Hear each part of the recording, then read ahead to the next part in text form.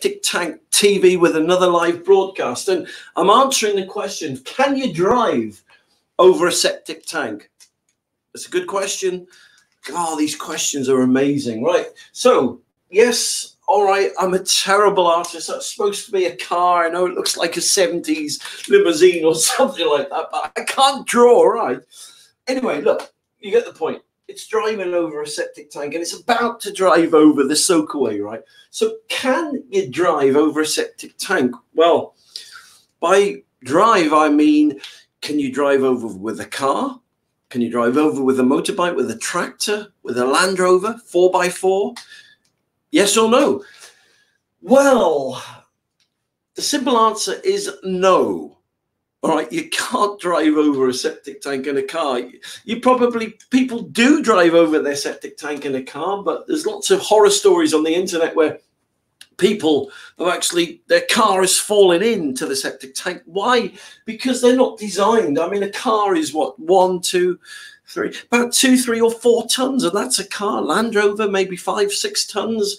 Man alive, a tractor, ten tons. So look, these can't withstand very much weight at all. All right, so, but I'm going to show you how you can drive over a septic tank. Are you ready for this? Right. So let's say you've bought a septic tank and you want to put it under your driveway, right? All right. So the secret, what a lot of builders and people do, they put a concrete pad, a concrete pad. So if I just get my board rubber here and show you, look. All right. So let me just show you this. Okay. So let me just get rid of the pipe work for a second. So by concrete pad, I mean like a base. So they put a pad all the way on top, like so.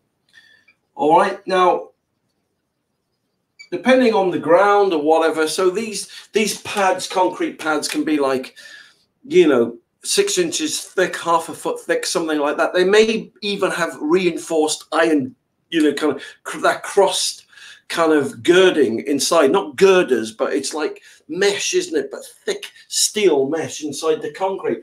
And what that actually does, that actually allows the car to display the weight over the um, area of the pad. So instead of bearing down on the septic tank, the actual concrete pad now takes the main force of the weight. and that's how builders and everyone get around that. Regarding the soakaway, the only way you can do it, because I mean, let's face it, most soakaway pipes have just got plastic, and uh, most soakaways have just got plastic pipes in, right?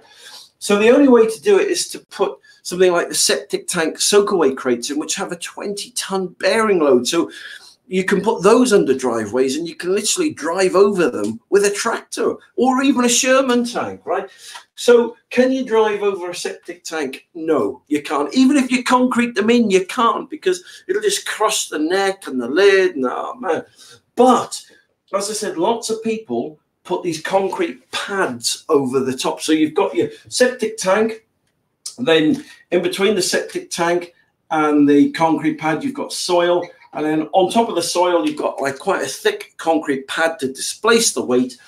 And you can actually said, like I said, use septic tank soakaway crates, right, for the soakaway. And they've naturally got a 20 ton bearing load. So the um, the car or the tractor won't crush it. So there you go. I hope that's helped you. So can you drive over a septic tank? Yes. In most cases, if you put a concrete pad over the septic tank, um, you know, if in doubt, contact your local builder, right? I'm, I'm saying that lots of people do it and it does work for lots of people. I'm not saying 100% it'll work in your instance, but that is one workaround, okay? Want to drive over your soakaway? Get some septic tank soakaway crates. So there you go. Hope that's answered your questions. If you want any more free help and advice, and just go to septictank.co.uk. Give me a ring. I love helping people for free. And, uh, you know, I I'm waiting for your call and I look forward to speaking to you soon.